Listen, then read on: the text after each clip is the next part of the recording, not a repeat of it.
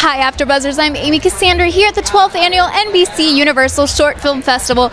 We have just experienced so many emotions in such a short amount of time by watching all of these fantastic short films. Now we're going to see who we get to talk to. All the winners, outstanding writers, outstanding actors. Everyone is so talented, and congratulations to all of you. It's over.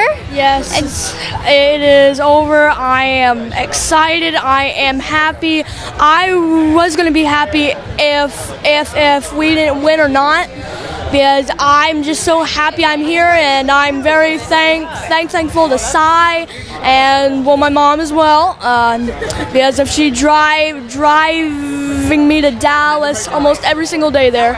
Um, it was just an honor to do do this. Um, Well, and I have to say, you look completely comfortable up there on stage. You heard everyone laughing. You are fantastic. I don't know if you realize just how talented you are. thank you.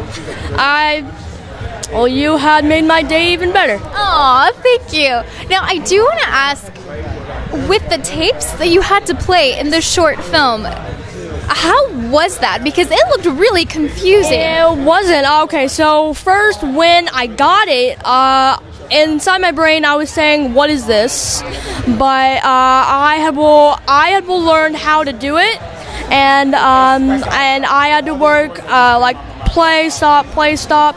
Um, uh, it was very fun to do. Um, it didn't take long to do to the film. It yeah.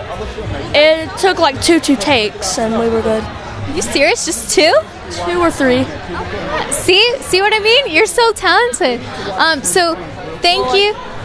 Thank you very, very uh, much. I'm I'm just I just my my brain is like wow I can't believe this is happening. I wow. I, I, I. Well, thank you. Have a great night. Have fun. You guys deserve it. Thank, you. you. Bye.